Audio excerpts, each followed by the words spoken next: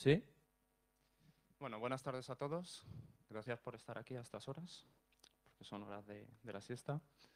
Eh, a mí hablar de mí no me gusta, así que bueno, tenéis ahí información, si queréis saber cosas que hago, dónde trabajo o, o CryptoRed, que, que, lo llevo con Jorge y bueno, hacemos un montón de cosas y, bueno, tienes ahí información de contacto. Em, la charla es un poco peculiar, por decirlo de alguna manera. Eh, agradezco a la organización pues todo, el trato y en principio la charla iba a ser media hora, voy a intentar estar una hora, así que cuando os canséis me avisáis y yo ya pues tiro, tiro para adelante. Eh, la verdad es que puede parecer raro una charla de... Voy a hablar de ondas cerebrales, entonces diréis, ¿qué tiene que ver esto con, con, la seguridad? Bueno, luego lo iremos viendo. Quería intentar hacer algún tipo de charla un poco más, más original y que, con suerte, pues la mayoría de vosotros no conozcáis este tema. Entonces, pues, partiendo de una investigación de un compañero, de Alejandro, ¿esto funciona? y, leyendo un par de noticias, pues he intentado investigar qué, hay hecho en, autenticación con ondas cerebrales, ¿vale? Para vincular todo este mundo con, la seguridad informática. Os voy a contar un poco, algunas cosas son un poco académicas, pero creo que, que, lo he puesto de manera así muy divulgativa, así que no, no se va a hacer muy pesado y vamos a ver si realmente, pues, por ejemplo, las ondas cerebrales eh, permiten hacer autenticación, pueden servir para sustituir claves criptográficas y, bueno, otro montón de cosas que, iremos viendo, ¿vale? También un poco el objetivo de, la charla es que os animéis a, jugar con este tipo de cacharritos, ¿vale? Son cacharritos que permiten leer con mayor o menor precisión las ondas cerebrales, ¿vale? Seguro que alguno, lo mismo ya habéis jugado con alguno de ellos. Y, bueno, un par así de disclaimers. Voy a hablar del cerebro y de neurociencia. Yo no soy ni de lejos un, experto en esta materia, así que cuando uno no es experto, pues bueno, humildad, pensamiento crítico y trabajo y trabajo. También destacaros, porque yo creo que esta es una conferencia muy útil para ello, eh, lo que es la mentalidad hacker. Superar nuestros límites, que yo creo que esta, es, esta charla y otras va mucho de ello, y también eh, lo que para mí es la mentalidad hacker, que es ayudar a la gente. ¿Por qué digo lo de ayudar a la gente? Porque este tipo de dispositivos yo lo voy a orientar mucha seguridad, pero tiene una utilidad infinita en accesibilidad. Eh, aquí os pongo, si luego tenéis curiosidad, eh, hablamos más, cositas que hacíamos, en este caso era con el mando de la Wii hace un montón de años, para hacer dispositivos de bajo coste de accesibilidad para gente con problemas de discapacidad.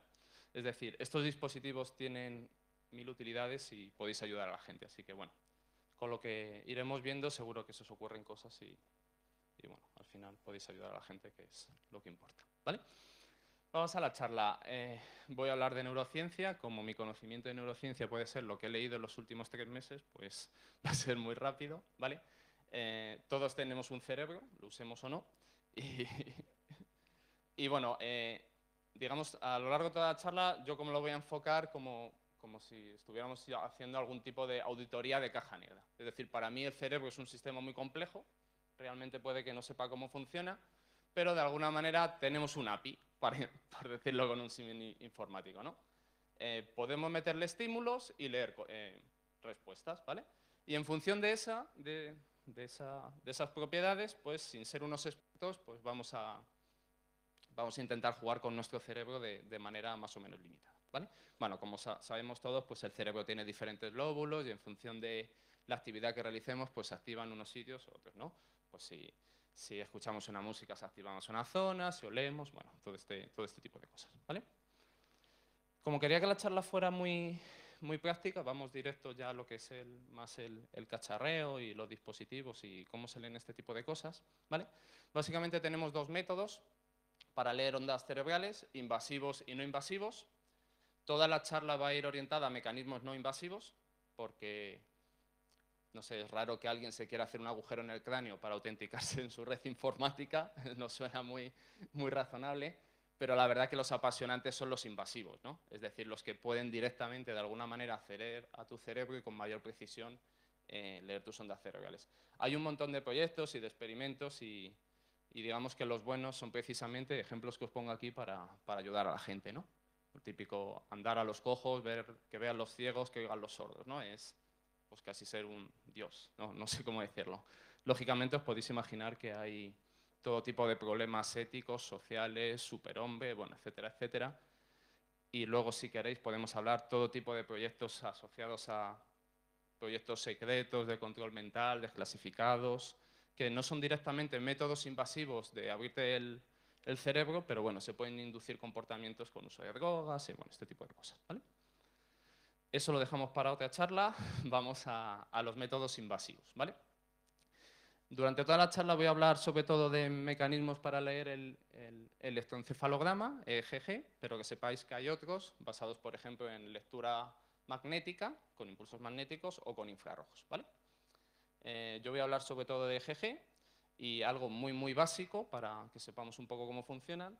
Este tipo de, dispositivos, de cascos, son una serie de electrodos o de sensores que lo que van a medir de alguna manera es diferencia de potencial, es decir, nos lo vamos a poner en la cabeza y van a medir de alguna manera corriente eléctrica que, en teoría se producen en, cuando hay comunicación entre, las neuronas. ¿vale? Aquí os, tengo, os pongo un ejemplo típico que habíamos visto en mil sitios, de, pues, por ejemplo, para monitorizar trastornos del sueño o en, entornos críticos algún tipo de, enfermedad mental. ¿vale? El ABC de, de, este tipo de tecnologías pues nos vamos a poner una serie de sensores y vamos a, medir ondas cerebrales. ¿vale? Las más clásicas, como muchos conocemos, pues de, delta, teta, alfa, beta, gamma, básicamente son, se producen diferentes ondas en el cerebro y en función de la amplitud y de la frecuencia, pues es una eh, u otra. ¿vale? Eh, en función de lo que hagamos, pues se suele asociar más a una, onda cerebral eh, u otra. Por ejemplo, ahí os pongo la, la onda beta, pues si hacemos, por ejemplo, procesos más de concentración o de atención, pues se suele disparar más este tipo de, onda. ¿Vale? Destacar que realmente medir este tipo de ondas cerebrales es muy, muy complejo porque son, además de ondas de muy baja frecuencia, son de microvoltios, es decir, necesitamos tecnología muy precisa para, pues para filtrar el ruido, amplificar la señal, etcétera. De hecho, pues hay bueno, buenos ejemplos de cómo intentar hacer tecnología de estas precisas, pues es casi como escuchar una conversación en un estadio de fútbol desde un globo de estos dirigibles. Entonces, bueno, es muy complicado, pero cada vez se están haciendo dispositivos de más bajo coste, como el que luego haremos alguna demo, y, bueno, es, es interesante. ¿vale? Aparte de las ondas cerebrales, sobre todo en la fase final, cuando hablemos un poquillo de mental surveillance, si no lo conocéis, lo que vamos a ver son ataques para extraer secretos de la mente.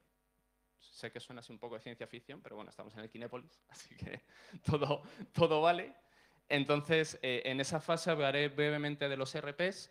RPs básicamente es eh, cuando tu, tu cerebro recibe un estímulo, puede ser auditivo, visual, etcétera, pues se producen ciertos patrones durante una duración de tiempo y analizando esos patrones pues se puede extraer información, ¿vale? Hay pruebas de conceptos reales para... Bueno, luego lo veréis, ¿vale? es, da un poco de miedo, pero es lo que hay. ¿vale?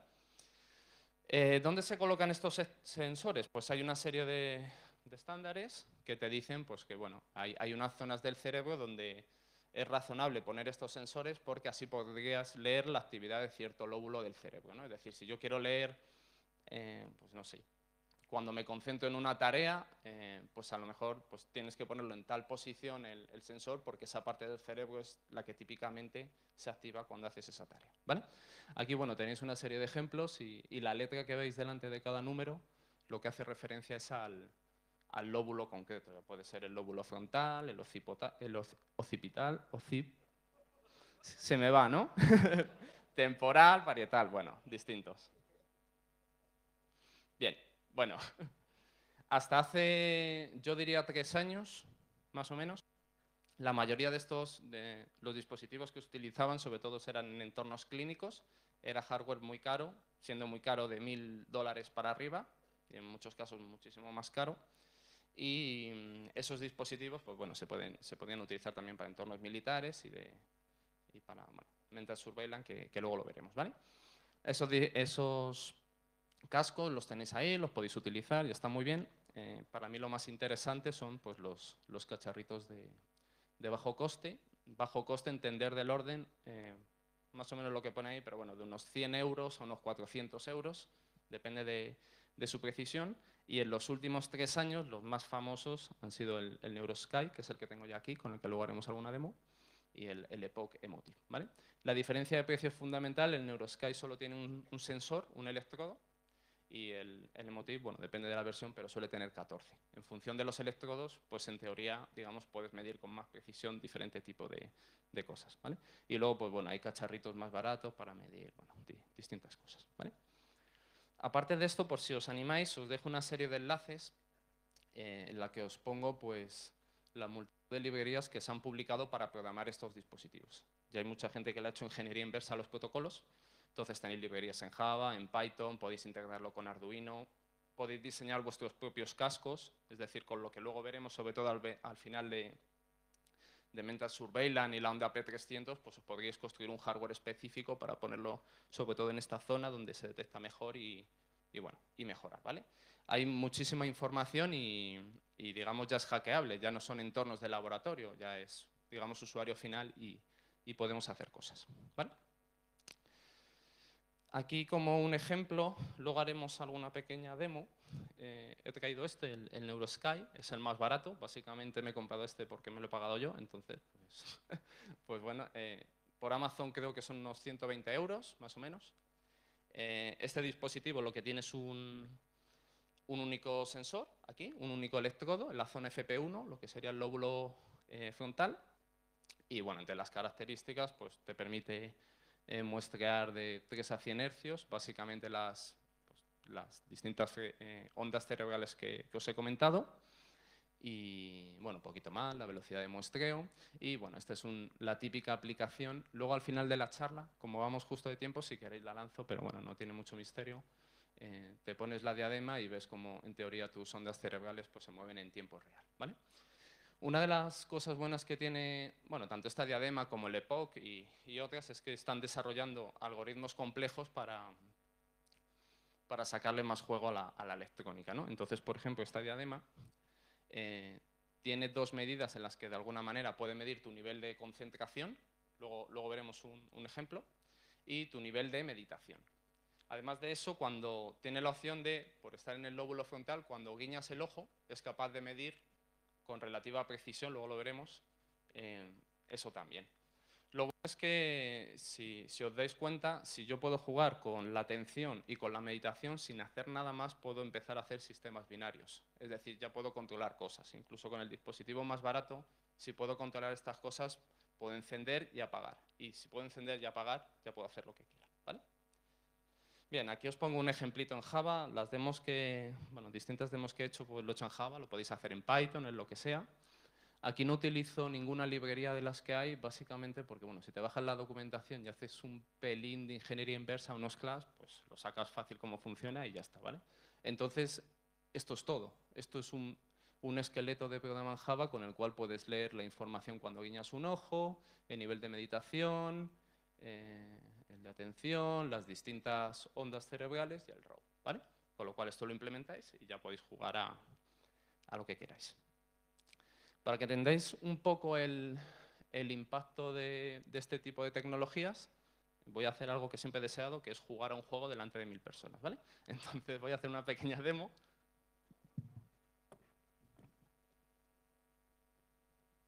Me pongo la diadema No tiene misterio, es, el electrodo, es un electrodo seco, es decir, no necesitas como en los, los comerciales algún tipo de gel para conducir mejor la electricidad y, masa, ¿vale? Entonces, si se ve, no he duplicado esto, ¿verdad? Duplicar.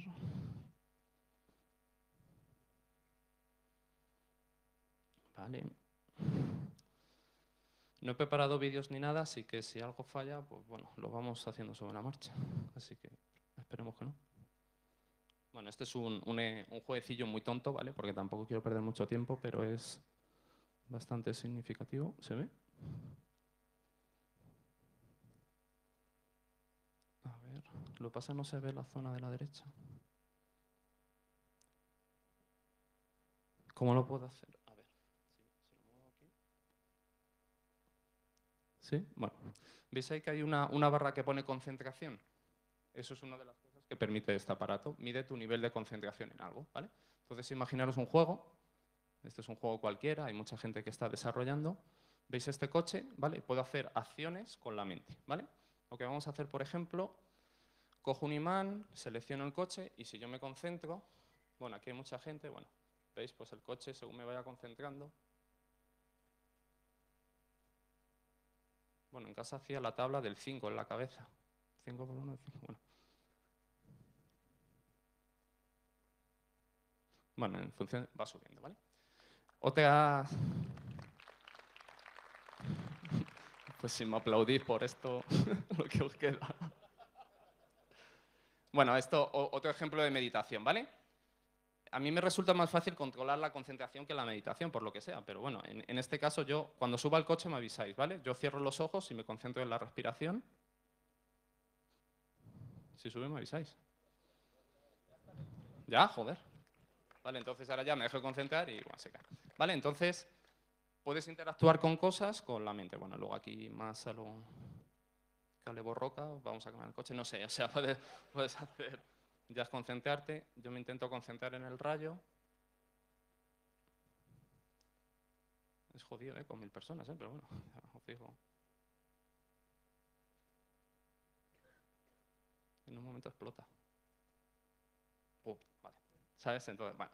Es un ejemplo tonto de, videojuego, pero eh, os lo quería poner para que veáis el impacto que está teniendo este tipo de dispositivos en, el entorno, en, la industria del videojuego y cada vez más. Eso va a hacer que este dispositivo, como pasó con el Wiimote o con otros, esté en nuestra vida real y eso va a tener implicaciones de seguridad que veremos al final de la charla. Cerramos ahí y seguimos. Vale, Neurosky. Vale. ¿Qué pasa? Que este, este tipo de dispositivo no se usa solo para jugar, aunque es probable que en los próximos años la mayoría de la gente lo tenga solo para, jugar. ¿vale? Ahí os hago una lista enorme de, cosas que, se pueden hacer. Ahora veremos imágenes de casos prácticos. Y bueno, una de las preguntas que yo me hacía es si este tipo de cacharros, eh, dos preguntas sería si, si son seguros, ¿vale? Eh, parte de eso ya lo contestó Alejandro, luego lo veremos y si aparte estos cacharros permiten establecer algún tipo de seguridad. ¿vale? ¿Qué se pueden hacer con estos cacharros? Estos son experimentos reales. Este, por ejemplo, es más de laboratorio, es transmitir información de una mente a otra mente. ¿vale? son eh, sistemas muy, muy complejos que requieren activación del cerebro pues, de diferentes maneras. Empresas que dicen que es buena, buena cosa analizar las ondas cerebrales para que la gente sea más productiva. Eh, bueno, esto a mí me resulta menos interesante, pero a la gente le gusta mucho, que es mover cosas con la mente, aparatos, etc. Hay juguetes que podéis comprar en Amazon. Eh, parece, aunque esta noticia es de 2005, que tiene bastante utilidad en entornos militares. De hecho, la, bueno, la Army en, en Estados Unidos pues, está invirtiendo bastante dinero, sobre todo para automatizar la introducción de comandos en sistemas complejos y para para analistas de inteligencia, para intentar detectar amenazas lo más rápido posible. ¿vale? De hecho, hay, bueno, están investigando bastante. Hay bastantes cacharritos, estos cacharros suelen ser más baratos, de, suelen ser 70, 80 euros para medir tu actividad cerebral para ver eh, lo relajado que estás. Digamos, de alguna manera, aparatos que en, teoría te deberían beneficiar a la salud. Eh, lógicamente, como somos seres humanos y toda tecnología que exista, alguien hará arte en algún momento. Se pueden utilizar para ruedas de reconocimiento y sacar secretos, entre comillas. Eso lo veremos porque creo que es interesante al final de la charla. ¿vale? Coger a alguien, a un supuesto sospechoso, estimularle de alguna manera y ver cómo reacciona su cerebro. Como toda tecnología se puede usar para ligar. Entonces, bueno, en teoría puedes encontrarte a otra persona y si tus ondas cerebrales pues, son compatibles, pues, pues adelante, que fluya el amor. bueno, eh, japoneses, eh, todo tipo de cacharros que te los pones y en función de si estás alegre, estresado, pues iba a decir se te mueve la cola, bueno, se te mueve la cola, las orejas, lo, que sea. Eh, tiene utilidad para, para, todo tipo de coches, por ejemplo Jaguar. Eh, uno de los primeros usos fue para gente discapacitada, para mover sillas de ruedas. Hola gente que intenta simplificar eh, esto con dispositivos más baratos. Esto es un EPOC, que sería eh, conducir un coche, bueno, conducir ciertas actividades de un coche con el control cerebral. Este me encanta, imaginaros, vamos, esto sería neuromarketing, vais a una tienda y, para comprarte una camiseta, pues te pone una diadema de este tipo y el sistema te recomienda una camiseta. Entonces tú dices, joder, ¿cómo lo has adivinado? A lo mejor la, la diadema mide que ese día estás estresado y a lo mejor por sus algoritmos piensa que la camiseta roja es lo mejor. Probablemente cuando llegues a tu casa y estés relajado dirás, vaya mierda rojo, no, me lo voy a poner en la vida. Pero la, tienda te ha vendido y tú crees que has elegido, cuando en realidad el que pierde siempre eres tú. Bueno. Lo que os decía antes, como con esta diadema, que es la más sencillita, puedes hacer sistemas binarios, pues podías hacer tonterías tipo de domóticas, ¿no? Subir, bajar una, una persiana, encender una luz, cambiar un canal. Esto todavía está muy de ciencia, pero es interesante, que es la optogenética, que es poder interactuar con, con láser en las neuronas para borrar o introducir recuerdos. Y bueno, lógicamente lo que se os imagine, si le sumamos impresoras 3D, pues bueno, el límite, eh, sobre todo para temas de discapacidad, pues, pues lo que os, podéis imaginar. Os he puesto este artículo aquí porque si es verdad que este tipo de, noticias parece que son más novedosas en los últimos tres años, pero casi siempre cuando algo llega al, común de los mortales, alguien ya lo lleva analizando esto por 40 años. ¿vale? Entonces, pues estos son simplemente proyectos públicos de DARPA, que desde los 70 pues está investigando en este tipo de tecnologías. ¿vale? Os he dejado el enlace por aquí, echadle un vistazo, está, está muy bien, de todas las cosas que han públicamente, me voy a decir, investigado y publicado, las dos cosas.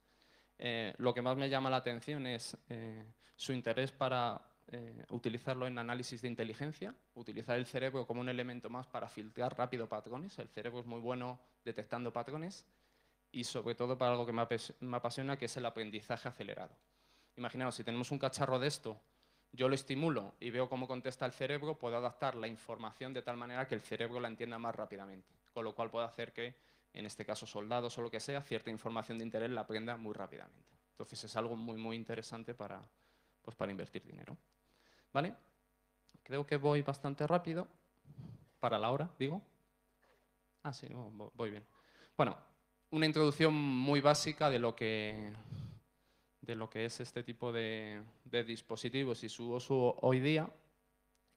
Y en, los próximos minutos quería hablar un poco de seguridad. ¿vale? Bien, eh, el problema que pasa con estos dispositivos, como cualquier otro, es que no están diseñados para ser seguros. Una charla que dio mi, compañero Alejandro en, bueno, en la última DEFCON y en, y en otros sitios, básicamente lo que destacaba es que este tipo de, cacharros pues hacen bien o intentan hacer bien eh, leer las ondas cerebrales, pero no implementan ningún mecanismo de nada. Es decir, está muy bien que lean tus ondas cerebrales, pero al final eso se va a convertir en bits y los bits se tienen que transmitir de alguna manera. Entonces, si no está protegida la comunicación, pues te pueden hacer replay, ataques de man in the middle, denegación de servicio, lógicamente jamming, porque esto, este funciona por Bluetooth, hay otros que funcionan por Wi-Fi, no hay autenticación, no hay cifrado, no, no, no hay de nada. ¿vale? Una, una, frase que se me quedó así un poco marcada de, de la investigación de Alejandro fue una en la que decía que personas sin autorización pueden leer tu actividad cerebral, no se refería tanto al dispositivo, sino más a la transmisión, y, por tanto, de alguna manera, podían falsificar tus, tus ondas cerebrales. Con lo cual quedaba claro que, entre otras muchas cosas, porque faltan muchas cosas, pues hacía falta cifrado, autenticación, o sea, criptografía de, alguna manera. Entonces lo que me pregunté es, bueno, ¿y, con el propio dispositivo o con nuestra propia mente se puede hacer algo de esto? Es decir, ¿podemos autenticarnos con algún proceso mental? ¿Podemos crear una clave criptográfica, un número aleatorio, algo? Y básicamente lo que os voy a ir enseñando es precisamente lo que, aunque esté en pañales, entre comillas, lo, que se ha ido haciendo. Os voy a contar pequeños detallitos, sobre todo lo que voy a destacar son los problemas, porque para las virtudes ya están los autores, os los leéis y eso no tiene ningún tipo de interés. ¿Vale? Entonces voy, a intentar desmitificar eh, lo que se puede hacer con ondas cerebrales en, en autenticación. ¿vale? Todo esto surge de artículos que empezaron en 2013 en los que decían cosas tan, tan interesantes como esta. ¿no? El futuro de la autenticación son las claves basadas en pensamientos. Tu pensamiento es la clave, tiempo de sustituir password con claves, el cerebro... Bueno, allí hay un montón, ¿vale? Tu cerebro puede reemplazar los passwords, vale. El problema aquí es el de siempre, ¿no? Las, las passwords, ¿no? Eh, es un problema, llevamos 30 años matándolas con tecnología súper cool, Yo creo que es una batalla perdida, personalmente, pero bueno, hay, hay que vender tecnología, con lo cual, pues mira, está, está bien. Pero es verdad que independientemente de las tecnologías, incluso de las contramedidas que podemos hacer para que las passwords sean más seguras, porque hay, hay, mil mecanismos para hacer que las passwords sean más seguras, existen dos ataques que son difíciles de solucionar, que son estos dos, ¿vale? Robert House y Black Bag Cryptanalysis, que básicamente es que te, que te obliguen a darle una contraseña, ya sea a las buenas o a las malas, y otra vez que te la roben, ¿no? Ya sea, pues, lo que conocéis todos, ¿no? Típicamente, por hacer algo un poco más sofisticado, ataques, ataques laterales, emanación, etc. ¿Vale? Claro, ¿qué, ¿qué, podemos hacer con estos dispositivos en, en autenticación? Podríamos hacer cosas que son divertidas, pero tampoco son muy útiles. Os voy a hacer una pequeña demo. Este, este, esta diadema permite detectar el, cómo, cómo, se pestañea. Pues bueno, nos podríamos hacer si funciona. A ver. A ver, tiene que conectar. No sé si va a funcionar. A ver. Sí, vale. Entonces, bueno, básicamente esto es un programa... Bueno, ahora estoy pestañeando a lo loco, ¿vale? Entonces, pues bueno, en teoría podrías con el pestañeo ir eligiendo eh, letras y de tal manera que un tío que, te, que, tuvieras en la espalda pues no te copiaría porque no lo estás tecleando, ¿vale? Es muy divertido, pero realmente utilidad práctica yo la veo limitada. Pero como todo en esta vida, hay gente que tiene mucho tiempo libre y, bueno, pues investiga sistemas de este tipo. De hecho, según estos autores, esta investigación está hecha con esta diadema, pues alcanza un ratio de un 99%. Claro, aquí tiene truco, lo han analizado con 10, serían familiares. Con lo cual, pues, pues eso, pues la validez que pueda tener pues es bastante relativa. ¿vale? Si veis la fecha es de 2015, es decir, que son estudios muy recientes. Pero bueno, es interesante porque algo, lo que es guiñar el ojo, que hace muchos años se hacía con tecnologías eh, bastante caras y sofisticadas, ahora se puede hacer con dispositivos de 100 euros sin tener que hacer absolutamente nada. ¿vale? Una cosa curiosa que luego lo veremos es lo que os pongo aquí de la separación del tiempo, porque luego veremos que es un problema. En los procesos mentales, si los usamos en autenticación, el tiempo es, es un factor importante. ¿vale? En teoría, ¿para qué sería buena la mente como para establecer un mecanismo de autenticación? Vale, en, teoría, ¿qué podríamos hacer? Eh, si yo hago una clave basada en un pensamiento, eh, pues alguien que tengo en la espalda pues no ve cómo tecleo la clave, con lo cual ataques de solid surfing eh, no funcionarían. Una cosa interesante de una clave basada en un pensamiento es que no tiene por qué ser secreto. Es decir, yo, mi clave puede estar basada en yo recitar en mi mente una canción y yo puedo apuntar esa canción en un papel.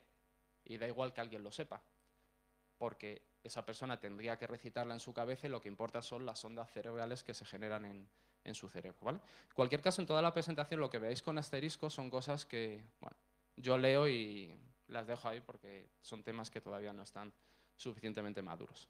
Es un mecanismo de autenticación interesante porque si aun a pesar de que he dicho que no se pueden copiar los procesos mentales en teoría, te los copian, pues puedes elegir otro. ¿no? En otros mecanismos biométricos, pues si no sé, te han cortado los 10 dedos o te los han copiado, pues tienes que elegir otro mecanismo porque ese no, no funciona. Otra cosa que es interesante permitiría autenticación continua, ahora que está tan de moda hacer yo sé, el testing continuo y todo este tipo de cosas, pues a lo mejor sería buena idea tener siempre algo que, que te autenticara continuamente. Y luego, aunque yo a esto solo le veo eh, utilidad maligna, eh, solo funciona si estás vivo. ¿vale? Entonces, pues bueno, Digo lo de actividad maligna porque a mí se me ocurren sistemas por si me matan que hagan cosas. Entonces, siempre pienso en, en, el lado así más, más oscuro, ¿vale? Lógicamente, este tipo de autenticación es de doble factor. Una cosa que eres, tu cerebro, y una cosa que, que sabes, tu pensamiento. Una cosa que me ha encantado siempre, que es la, la negación plausible. Por cómo funciona el cerebro, si alguien te fuerza a dar una clave, tú te estresas y las ondas cerebrales que generan no son las mismas con lo cual un sistema de autenticación no funcionaría. ¿vale? O sea, puedes aprovechar sistemas, eh, si consigues cifrar con esto, para que si alguien te obliga a dar una clave, pues no sé, bueno, se le intentes dar, pero no va a funcionar. Y si tienes además la capacidad de auto, autoestresarte o, generarte algún estado de ánimo, pues es negación plausible. Es decir, puedes decir, oye, no funciona porque es así, aunque en, en realidad lo estés provocando tú. ¿vale? Y en teoría, pues cada cerebro humano genera patrones únicos. ¿vale?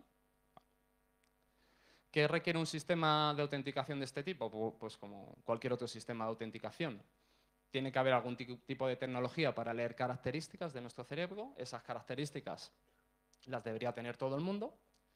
Y luego, en principio, hay cosas que yo las pongo en duda, y ahora lo veremos, que es que, bueno, ese tipo de proceso de autenticación debería ser continuo en el tiempo, debería ser preciso, seguro, no atacable, y, digamos, la gente debería usarlo. O tendría que gustar, el tema de, usabilidad, ¿vale? Os voy a resumir en, creo que son en dos o tres transparencias, unos 60 artículos de todo lo que he visto yo publicado en autenticación con la mente, ¿vale? Así que vamos a intentar hacer, es fácil. No te misterio. El esquema que veis aquí es cómo funciona cualquier sistema de autenticación con la mente que, Al que yo, yo haya podido tener acceso. Tenemos un dispositivo que capta ondas cerebrales, por diferentes procedimientos matemáticos extraes características, es decir, al final tú vas a pensar en una tarea mental, luego os pongo ejemplo de tareas mentales, este cacharro analiza las ondas cerebrales y saca como pequeñas características. Lógicamente, como nuestro cerebro no se comporta siempre igual ante los mismos estímulos, esas características van a variar. Entonces necesitamos algún tipo de estadística o de algoritmo de clasificación para, de alguna manera, hacer grupos. Una vez que tenemos la clasificación, sacamos eh, una pequeña información y es así como se va a autenticar una persona. Es decir, hay una fase de entrenamiento, se generan unos valores y cuando yo me voy a autenticar, pues repito eso y lo comparo con, muestras previas. ¿vale? Aquí tenéis bueno, diferentes técnicas matemáticas, algoritmos de Machine Learning, etc. Eh, la base de todo esto es que nosotros realicemos tareas mentales en la cabeza.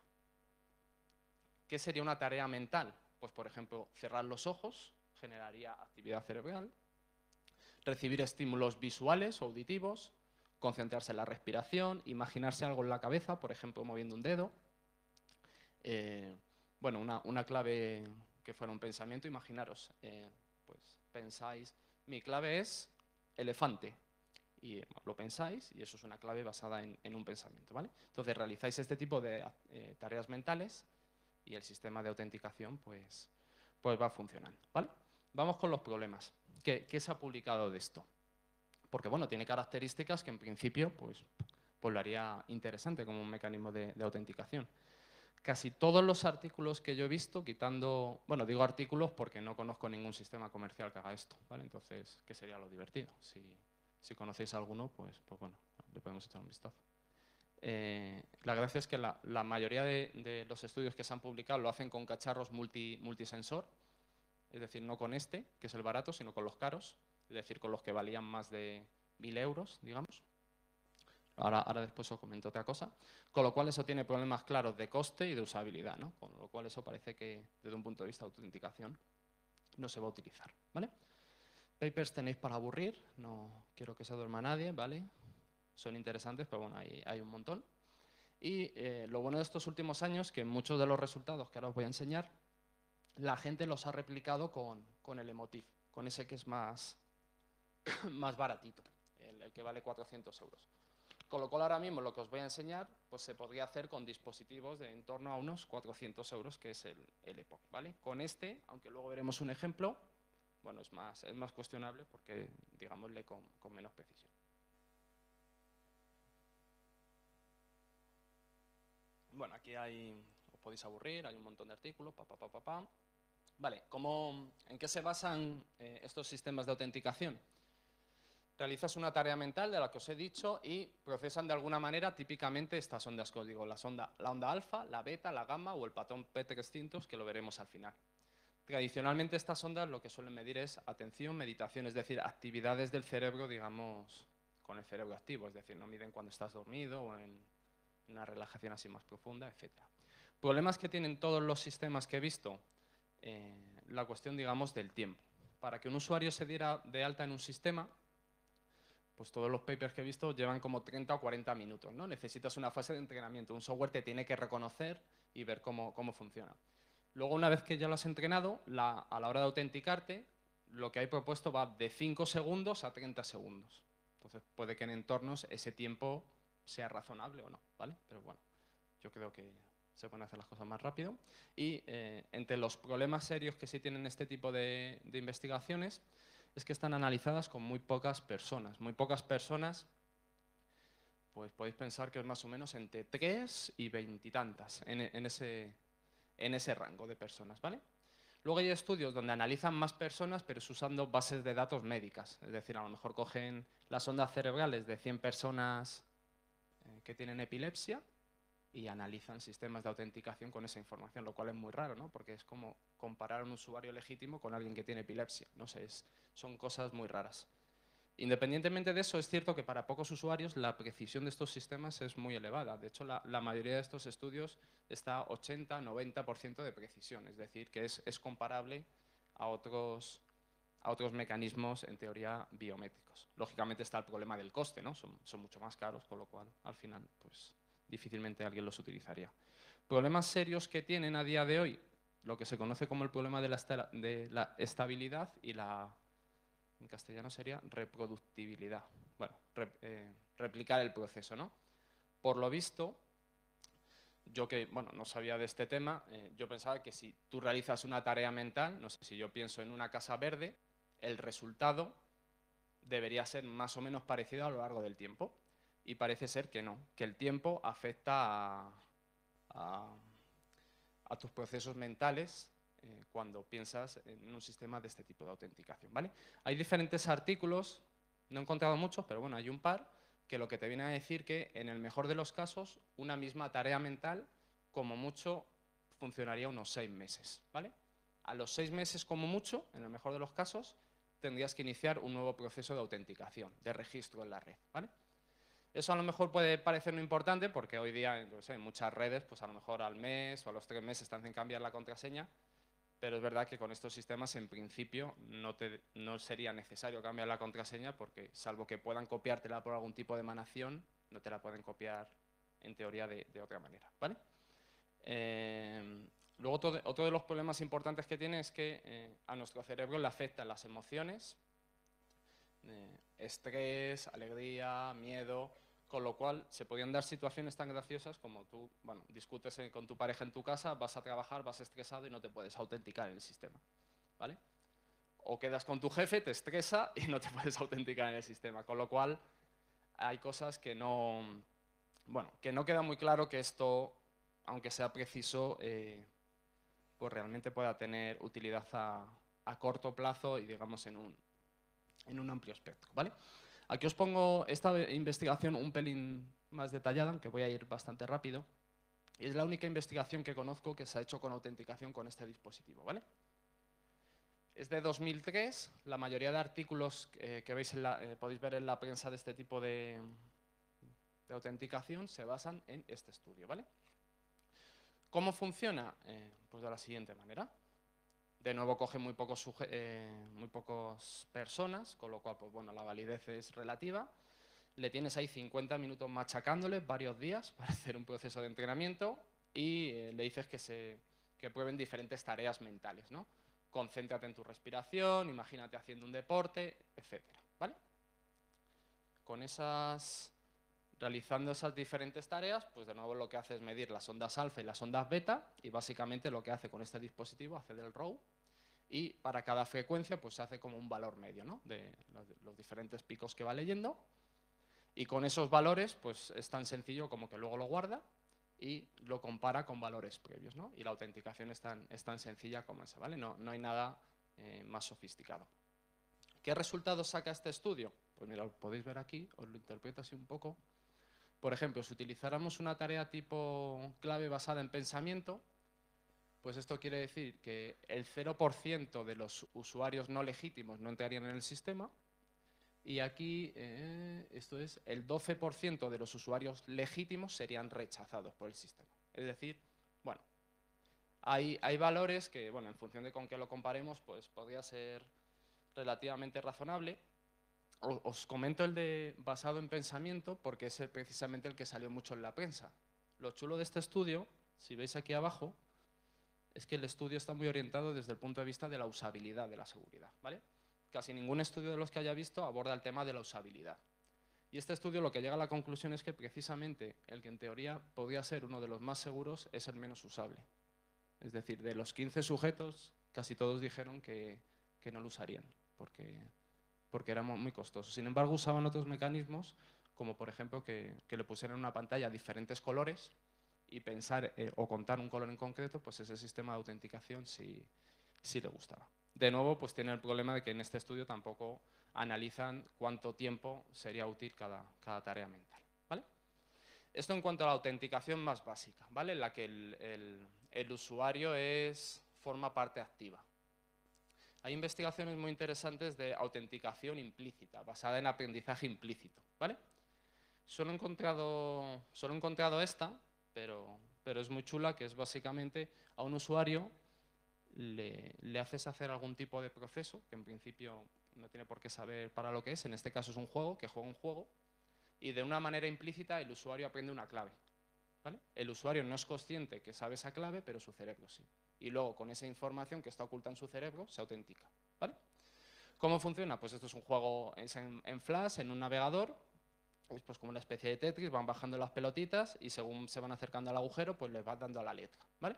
El experimento pues va jugando con diferentes eh, pelotitas de estas y diferentes velocidades, ¿vale? Muy rápido, muy despacio, ¿no? Y les tienen así un, tiempo, ¿vale? ¿Cómo es el proceso de login? Claro, el proceso de login son cinco minutos, con lo cual, pues ya apágate.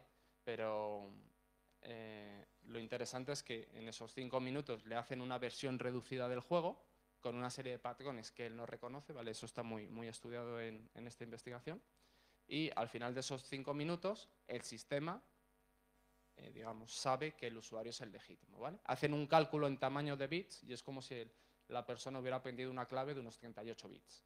¿vale?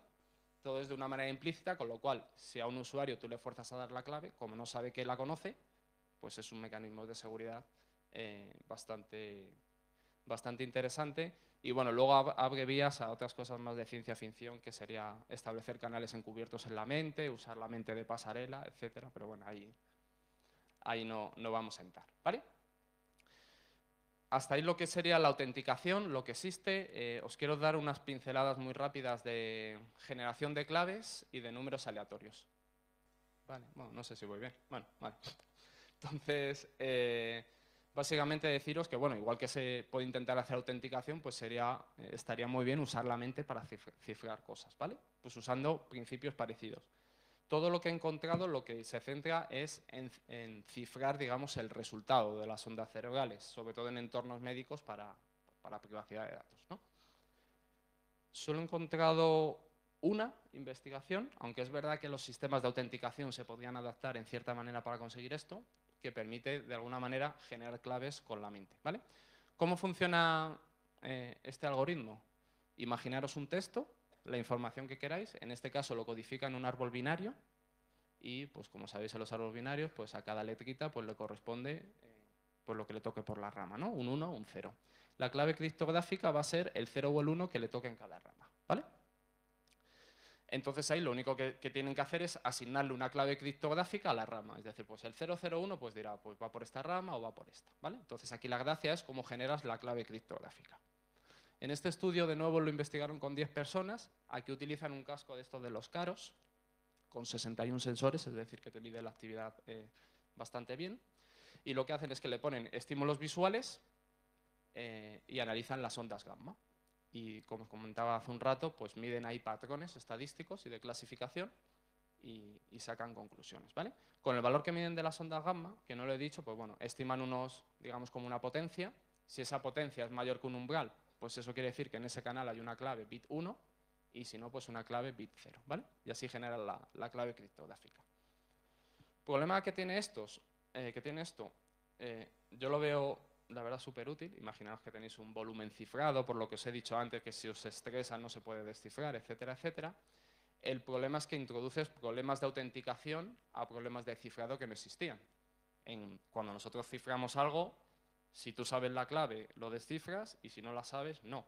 Aquí tenemos los problemas de la autenticación más de biometría. Si veis esos porcentajes de ahí arriba, quiere decir que a veces un usuario, conociendo la manera de generar la clave, no va a poder descifrar la información y va a haber escenarios donde un usuario, no conociendo la clave, va a poder descifrar. Con lo cual, pues no sé yo si alguien se va a arriesgar a... Lógicamente, si eres tú en tu casa, pues te da igual, porque a lo mejor lo repites 100 veces, si es algo muy crítico, prefieres que si te fuerzan, pues que no tengan acceso a la, a la contraseña, ¿vale? Y de nuevo, pues en este caso concreto no se ha estudiado este tipo de cosas. Lógicamente, ya para ir muy rápido, porque voy mal de tiempo, a lo mejor no se puede generar una clave criptográfica como tal, pero sí puedes generar un número aleatorio y esa utilizarla de, otro tipo de, de otra manera, ¿vale? Os voy a enseñar una pequeña demo. Bueno, eso que os pongo ahí es porque hicimos un estudio hace muchos años usando el mando de la Wii para generar números aleatorios, pero bueno, eso, eso no, no tenemos mucho tiempo ahora. Os voy a enseñar una pequeña... No sé si se ve. No se ve, ¿verdad? A ver, un segundo.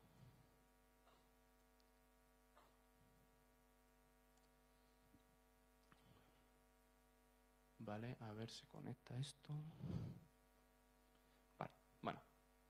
De hecho, no sé si está conectando bien. Ah, sí, bien, perfecto.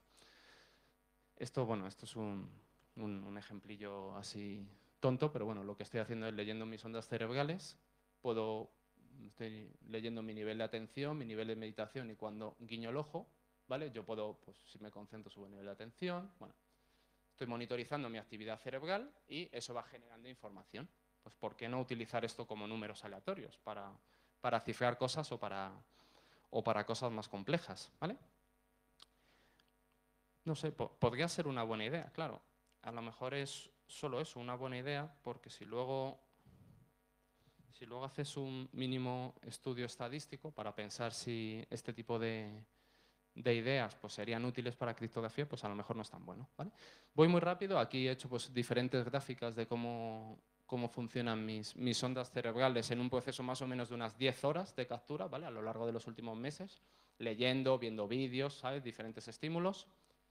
Aquí pues como lo anterior no salía muy aleatorio, digo, bueno, voy a hacer algún pequeño truquito matemático, a ver, parece que sí, tiene buena pinta, bueno, luego veremos si es verdad, podemos ver el RAW. Luego, como realmente era un rollo tener el cacharro para estar continuamente cogiendo números, en teoría aleatorios, pues digo, voy a, voy a ver qué tal funciona sin mi cabeza, ¿no? Porque esto al final es electrónica, genera ruido y que, y que lo haga solo. Entonces, pues mira, incluso parece que, no sé, que aquello está más mezcladito y tiene mejor forma. Incluso si tiras al RAW pues parece que también. Eh, pero bueno, al final si esto te lo tomas en serio, le haces ataques estadísticos así de manera un poco seria, pues no, esto, o sea, esto ni números aleatorios ni nada que se le parezca. Lo que sí es cierto que se puede utilizar como fuente de entropía, igual que hacemos en Linux en otros entornos, usamos el ratón o el teclado, pues para pequeños grupos de información o para semillas, pues aunque suene muy raro, sí se podría utilizar. Hay poca investigación en números aleatorios basados en la mente, pero he encontrado dos. Este es muy curioso, que hay un investigador que dice que sí, que las ondas cerebrales generan números aleatorios, pero de nuevo es si eres epiléptico. ¿vale? O sea, lo hacen con bases de datos médicas, entonces es muy raro. O sea, vamos a usar gente con epilepsia para proteger sistemas. No sé, es muy raro, así que yo paso. Y el único estudio que he encontrado es uno parecido al que he hecho yo con esta diadema, pero con el EPOC, en el que llegan a una conclusión parecida, que es si coges la información directamente del cacharro, los números que salen no son aleatorios ni se parecen, pero si haces unos pequeños truquitos matemáticos, pues en el caso del EPOC sí se podría utilizar como pasa en NIS y otra serie de, ataques, sí se podría utilizar. ¿vale? Como no quería quedarme solo en la fase esta más de autenticación, cifrado y generación, para terminar la charla voy a hablar rápidamente de algunos ataques eh, que se pueden realizar a la mente. ¿vale? ¿Por qué este tipo de ataques? Porque, claro, yo estoy pensando en que se utilice esto para cosas críticas, autenticación, pero a lo mejor es que existen ataques que me pueden extraer esos procesos mentales. ¿vale? Entonces, pues, le dediqué un tiempo para ver qué, información pública había de esto. ¿vale? Eh, hay algunos investigadores o periodistas que dicen que esto será una realidad en el 2030 y a mí la verdad que como no me gusta que me sometan los robots, pues quería ver hasta qué punto esto era verdad. Como todos sabéis, a día de hoy todos llevamos dispositivos, smartwatch o similares, y si eso se puede de alguna manera hackear, pues supone un problema de la privacidad. ¿no? Ahí tenéis pues, el típico reloj este de Samsung, y con ciertas limitaciones pues puedes leer las claves que introduces en el teclado analizando los sensores de, la muñeca, ¿vale? Es decir, hay cosas interesantes, ¿vale? Vamos a hablar de privacidad rápidamente de pensamientos. Hay una, una parte de, la ciencia forense que es conocida desde hace bastante tiempo, que es el, brain fingerprinting, bueno, hay, diferentes maneras de utilizarlo, pero uno de los fundamentales es usando el patrón P300. Esto es una onda que se produce en el cerebro cuando eh, a, un, usuario, a una persona se le, hace un estímulo. Un estímulo visual, por ejemplo, pues en torno a los 300 milisegundos se produce una onda con un cierto pico. Analizando ese pico, puedes llegar a inferir con una cierta probabilidad que el usuario conoce esa información. Esto se puede utilizar y se ha utilizado, por ejemplo, en ruedas de reconocimiento. Por ejemplo, hay una persona que ha cometido un crimen, tú le pones fotos y un cacharro, es decir, como una especie de polígrafo eh, mental, ¿vale? Esto tiene, pues, esto es cierto, ¿vale? Esto, esto es así. En principio, pues puede tener un montón de aplicaciones más para cosas más críticas y hay empresas que lo venden como que es la, panacea. Lógicamente, pues cuando alguien dice que, que algo es la panacea, pues no es tan cierto.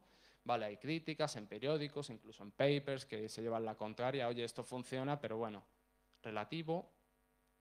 Y bueno, esto desde, si tiramos a documentos militares, pues esto creo que es del 2001, pues desde hace un montón de tiempo pues se está hablando de su potencial y de sus limitaciones, ¿vale? Entonces, cartas que se intercambian en el FBI, servicio secreto, etcétera, ¿vale?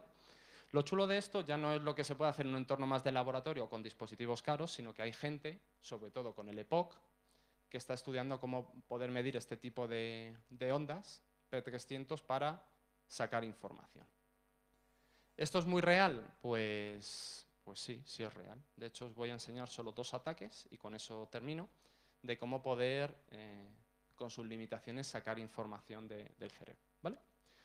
Las dos investigaciones son de los, de los mismos autores, son de universidades, digamos, nada raras, Oxford, Berkeley, etcétera.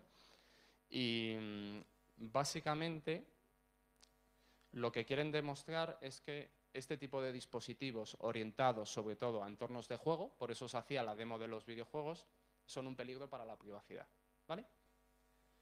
¿Qué prueba de concepto hacen? Usan el EPOC, el emotif, eh, y por ejemplo, pues tú te puedes descargar aplicaciones de Android que a día de hoy que puedes jugar con ellas, ¿no? Leen tus ondas cerebrales y puedes interactuar, ¿vale? Entonces, en estas investigaciones lo que hacen es plantean diferentes escenarios, te plantean estímulos y miden, por ejemplo, el patrón P300.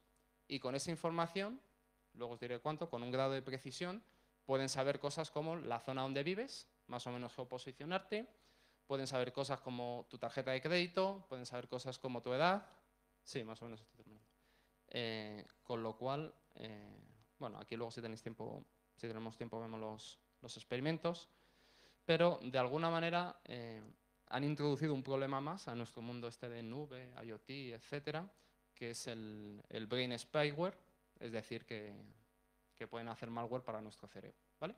Este estudio lo analizaron con 20 sujetos, creo que fue, o sea, con 20 personas, y en función del experimento pues funcionaba de un 20 a un 60%. Es decir, en el mejor de los casos el 60% de las personas le sacaban alguna información privada, simplemente a lo mejor estaban jugando a un juego, le ponían un estímulo, por ejemplo la cara de, no sé, de Obama, por decir un ejemplo, y si conocían la cara de Obama, pues eh, ese es un ejemplo porque todo el mundo conoce Obama, pero bueno, ponían ejemplos de dónde vivía y haciendo ese juego pues sacaban información privada. Claro, esto para ocultarlo pues es como muy es más complicado, te lo tienes que currar. Entonces esta gente pues hicieron la modalidad subliminal, ¿vale? Hacen los mismos ataques, pero los estímulos te los meten en menos de 14 milisegundos, con lo cual no eres eh, visualmente consciente, aunque tu cerebro sí, ¿vale? Eh, con la ventaja en este estudio que en vez, este estudio lo hicieron no con el EPOC, con un casco más complejo, y en este caso la precisión pues iba desde el 66 al 90%, ¿vale? O sea, sube, sube bastante. Lógicamente, eh, para mí esto es un peligro bastante grande y todo va a depender de cómo se abarate el coste de esta tecnología y, cómo, cómo, lo use la gente, sobre todo en temas de videojuegos, que yo creo es como entrará más en, en, los domicilios. ¿vale? Para terminar, como conclusión, básicamente esta charla, eh, si no lo conocíais, os quería destacar la utilidad de los, de los dispositivos que permiten leer ondas cerebrales, sobre todo los de bajo coste. Que sepáis que, que hay aplicaciones reales que ya se usan, que podéis programarla, como os he enseñado, y que bueno, luego aquí hay un mundo apasionante de investigación, sobre todo comunicación cerebro-cerebro. Esta es una investigación en la que se intercambian, es un poco triste, pero la palabra hola.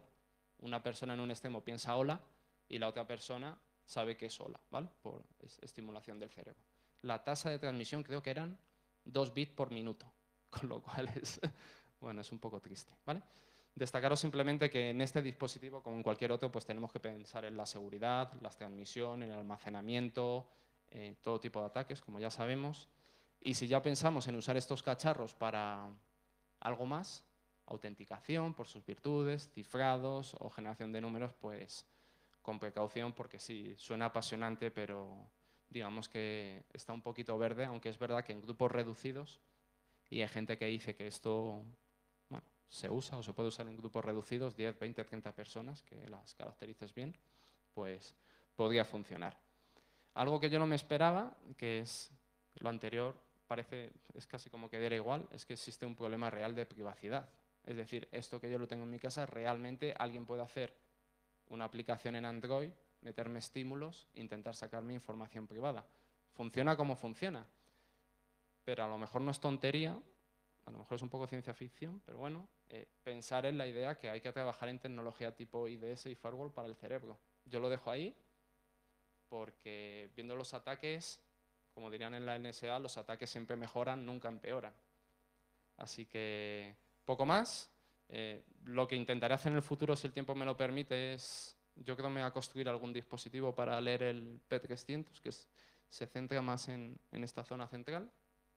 Y me voy a centrar sobre todo en criptografía, porque yo creo que es que lo más interesante y tres temas que para mí eh, son apasionantes, que serían neurofeedback, que al final es medir tu actividad cerebral y mejorar tu salud de alguna manera, el aprendizaje acelerado, dejar de ir a academias de idiomas y estas cosas, es el sueño de todo el mundo, y, ataques, que es por donde creo yo que este tipo de tecnologías eh, van a ir en los próximos años y estoy convencido que vamos a ver bastantes charlas de ataques basados en este tipo de dispositivos.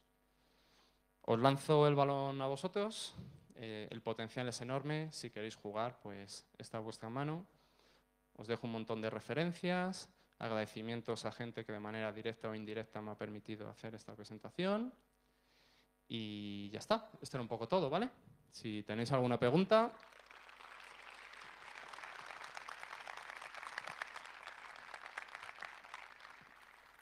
Una pregunta. Os voy, a enseñar otra, os voy a enseñar otra cosa mientras. Una. Allí hay una. Puede que no sepa la respuesta, con lo cual. Eh, hola, buenas. Hola. Eh, felicidades por la ponencia, me ha gustado mucho, la verdad. Eh, has hablado que aproximadamente la autenticación con ese dispositivo equivalía a una, una contraseña de 38 caracteres, si no recuerdo mal. 38 bits, pero ese es ah. el, mecanismo implícito, ¿vale? Eh, el, explícito no, el explícito da igual, o sea, te auténticas y te auténticas.